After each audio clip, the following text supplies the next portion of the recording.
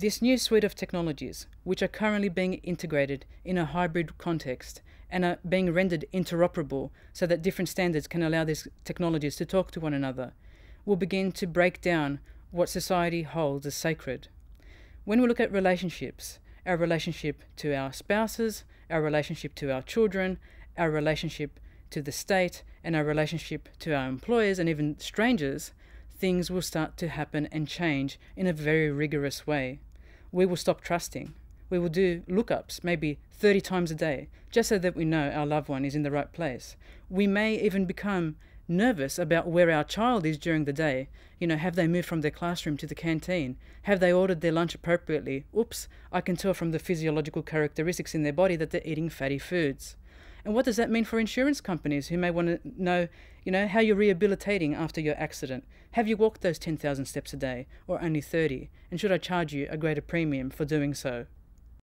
The nearest light post can surveil what we are doing and know who we are, where we are, how we're feeling, and evidence around us, you know, filming evidence around us. What it means is that we will be playing to a script.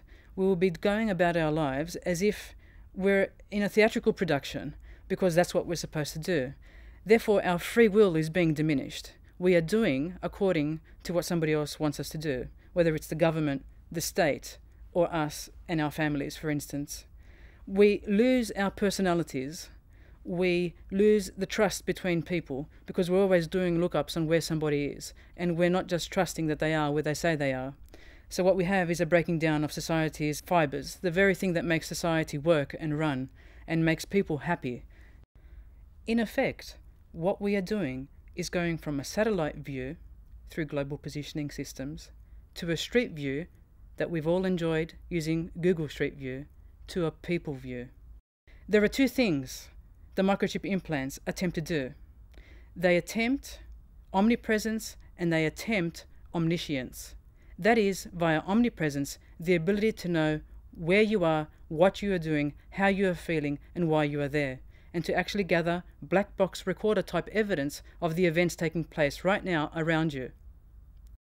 This leads to misrepresentation misinterpretation, and manipulation of information inexorably into the future, depending on who is controlling the data flow and how it is being stored. In actual fact, this uberveillant society will be being played out in front of large camera screens, just like network operation centers in network environments. Just like we can do lookups about where our buses and trains are in the network operation center, we will be able to do lookups on PeopleView. I wonder what my wife is doing right now. Let me see some footage of her while she's doing it. At any time of the day.